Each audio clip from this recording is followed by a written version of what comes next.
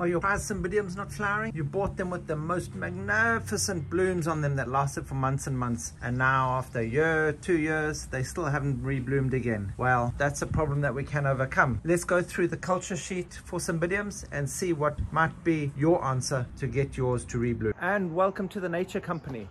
If this is the kind of information you're interested in, please hit that subscribe button if you haven't already and that notification bell to be notified of all our upcoming videos so you don't miss out on a thing. So we'll start off with just a brief explanation of some of the different cymbidiums. The majority of the cymbidiums you'll probably find are the ones from the highlands of India and Burma. That's where most of them come from. There are also dwarf varieties that come from China and Japan. And of course, the Australian varieties which take completely different cultural requirements that uh, we have another video on. I'll link that down below. So we'll mainly be dealing with the miniatures and the highland cymbidiums. So these cymbidiums from the highlands in India and Myanmar generally grow in what would be considered relatively cool but bright conditions. And they're in the monsoon areas so they're used to getting lots of rain at certain times of year. So and then the ones from China and, and Japan are generally miniatures and they're a lot more accepting of warmer conditions than what the larger cymbidiums are.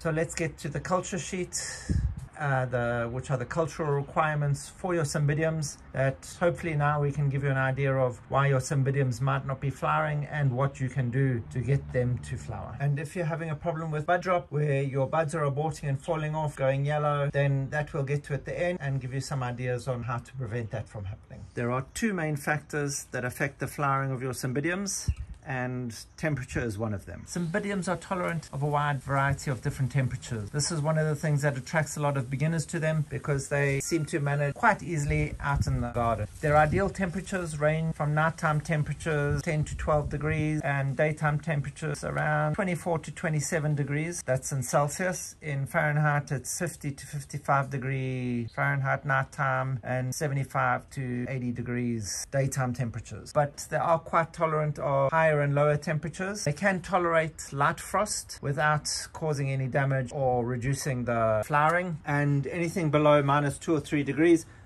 is going to start damaging any of the developing flower spikes. If it starts getting towards frost point, probably better to bring them indoors, keep them out of harm's way just to ensure that you don't damage your plant. And on the opposite side of the scale, in summer times, if your temperatures are reaching 32, 35 degrees, it's best to try and find novel ways to keep your plant cool using humidity trays or evaporation trays. So that's 90 to 95 degrees Fahrenheit. And if your evening temperatures in summer are over 21 degrees, approximately 70, 75 degrees Fahrenheit, then you're going to also want to find a way to keep them cool in the evenings because you'll get malformation of your developing flowering spikes at this point. So we want to try and reduce those evening temperatures in late summer by watering in the evenings to allow for that evaporation to take place, keeping the plant cool. In some places, even icing works well, where you can just throw a handful of ice cubes down into the plant in the, the evening time before you go to bed. And that will also help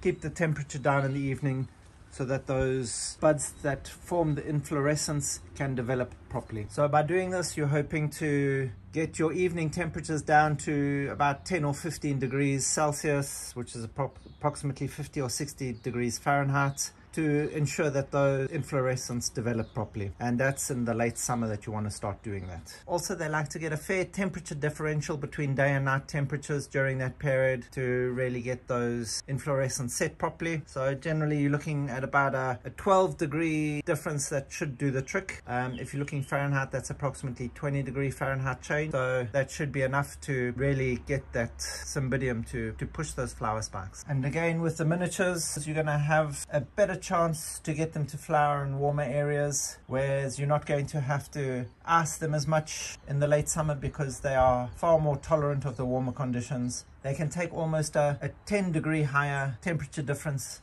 than what the cool flowering cymbidiums will take and still produce their amazing flower spikes. And humidity is one of the easy things with cymbidiums. They don't rely on those high humidities that other orchids often need. So between 40 and 60% is generally perfect for them, which means they do well in a wide variety of outdoor settings. And also If you're going to be growing them indoors, that should be easily enough attained as well by using an evaporation tray. Also, one of the things that helps with their humidity requirements is that they only need those higher humidity levels during their growing season, which is the spring and summer, which is often when there is high humidity levels around. And during the season that they flower, you'll find generally there is a lower humidity level anyway, so it works out perfectly for cymbidiums. And now after temperature, light is probably the next biggest factor determining cymbidium flowering. What you want out of your cymbidium is you want them to have these nice bright green leaves. It doesn't matter if there's just the slightest bit of yellowing on them, that's almost perfect. That means they're getting enough light. If you're growing them under cover, you want only 20% shade from them. Otherwise, if you're growing them out in the garden, then just giving them midday shade should be perfect, allowing it full sun in the morning and in the afternoon. If you're in a cooler climate, then you can give them full sun all day. This light factor is one of the reasons that they can be difficult to flower indoors because often you're not able to supply them with enough light indoors unless you've got huge big windows that will allow enough light for them. Growing them indoors in insufficient light, you get a slow growth, inconsistent growth patterns, and this makes it very difficult to get your flowering. This doesn't mean you can't enjoy your cymbidium while it's flowering by bringing it indoors because it needs the high light conditions, especially when it's in its growing phase. When it's in its flowering phase, it can accept those lower light conditions that it would get in winter anyway with the shorter light periods. So we can grow it outdoors. When the frosts start coming, if you're in a frost area, then you can bring it indoors. Those flower spikes at the bottom should have developed nicely and they'll continue to grow and you'll get your full set of flowers coming while you have your plant indoors and you shouldn't have any problems there. When it's finished flowering, you know your frost period is over. We just remove it back outdoors to get all that good air circulation, all that good light and everything that it needs to be ready for the next set. So all we're going to do while it's indoors is put it in a nice bright spot in a coolish area where it's not going to get that direct blast of heat from a, a, heater or anything. Now we have dealt with the main factors that are preventing your cymbidium from flowering. There's just a few other things we need to look at as well. The air movement. Air movement is essential for cymbidiums. They like to get all that fresh air moving in through and around their leaves. Otherwise, we can start getting problems like botrytis and fungal attacks and things and that then will then obviously kill your flowering spike as it starts to come out the ground. That's one of the reasons that we keep it outdoors, that we can have that constant breeze blowing through it. And then when it's flowering, we can bring it in and try and put it in an area where it's still going to be allowed some air movement without those cold and hot drafts blowing on it. As mentioned earlier, these are from monsoon areas that get torrential rains during their growing season so they're actually quite water loving plants. That doesn't mean we were going to keep the pot soggy. We're still going to have to put an excellent well-drained media here.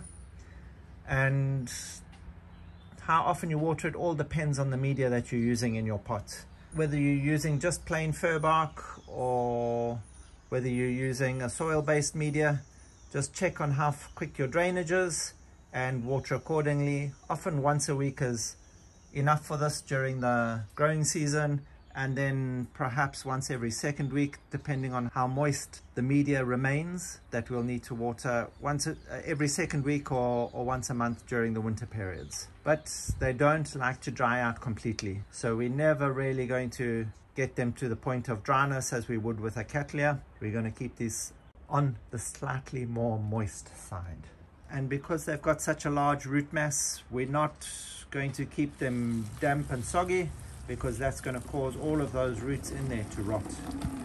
So we've just got to try and balance our, our watering with our air movement, our light and our temperatures. And also remember in warmer climates, watering at night, especially on the leaves, can help bring your temperatures down so that we can get those flower spikes activated. And when watering your, your cymbidiums, remember they're from high rainfall areas, so rather run your water through the pot until it's really pouring out the bottom to ensure that your complete root ball has been moistened and your water is just not running down the sides of the pots. So give them a good solid watering. And when it comes to feeding your cymbidiums, we give a balanced fertilizer right through the year, but we add extra nitrogen in during the growing seasons starting from early spring right the way through to the end of summer. We're going to be adding in that extra nitrogen to ensure that those growths are strong and ready to produce those amazing flower spikes that it's going to get. And then as we head into autumn, we're going to start adding the extra potassium and remove the extra nitrogen. During the growing season, we're going to be feeding our cymbidium every week. They're fairly heavy feeders, they grow relatively quickly and they can produce tons of flowers. So to get those pseudobulbs big and strong, to provide the plant with enough food to push out all those flower spikes, we feed them a fair amount. By doing this every week with an organic fertilizer, we use it at full strength. With a chemical fertilizer, we half the strength. But always remember then flushing your pots, especially with those chemical fertilizers. So again, once a week during summer, every second week during winter. And now that you've been feeding and watering your plants so well and they're growing up a storm, we're going to need to repot them. This we do immediately after blooming. We want to do it straight after blooming so that as these new growths start occurring, we can put them into their new pots and their roots that they're going to produce are going to settle in nicely. So always remember, we want at least three to five bulbs on each division to ensure that we get good growth out of it and that it isn't set back for a year without flowering. And remember, cymbidiums produce large root volumes. So we like to put in a, a deeper, longer pot so that it gives it space for all those roots to grow. Okay, I promised you I'd tell you why you get the bud fall or the abortion of the buds. There's several reasons that this can occur. Some of the main ones are warm drafts that can come at the wrong point and that will actually just cause all of the buds on your flowering spikes to turn yellow, curl up their tails and fall off your plant. Terrible sad sight to see. So things like adiabatically heated breezes that come down through certain times of the year can just cause your whole flower spike to abort all its buds. Often it's come from nice cool temperatures that it enjoys and then suddenly gets that warm heated breeze through it and it really doesn't enjoy that. So as it starts to form its flower spikes with all the buds coming up, keep it in areas where, where it's not going to be affected by winds such as that or direct breezes from heaters and things like that which will cause the same problem. Also, sudden hot temperatures will cause your plant to lose all its buds. Along with this is if you move it indoors into an area where the light conditions are unfavorable, you're going to get the same problem. All your buds are going to start yellowing and dying off and it will be too late to fix it. So find that nice bright spot for it to keep it happy.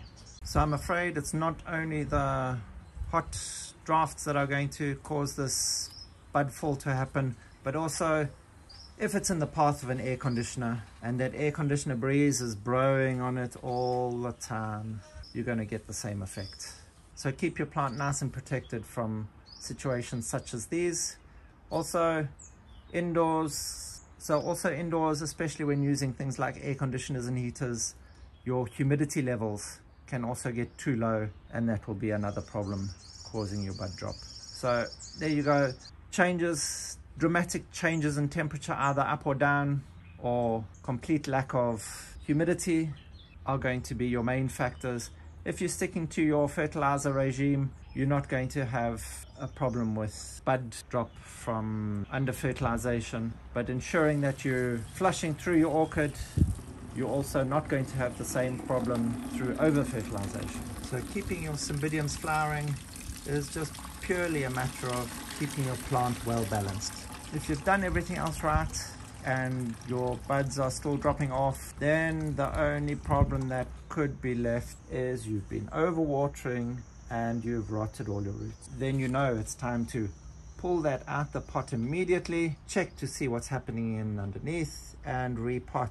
So they can be a good indicator of what is happening with your plant. Better to save your plant and have flowers in the coming years than lose your plant altogether. And thank you for watching. If you have found any of this information helpful, please hit that like button and that subscribe button if you haven't subscribed already. Hit that notification bell, bing bong, to be notified of all our upcoming videos so you don't miss out a thing. Help us grow as we help your plants grow.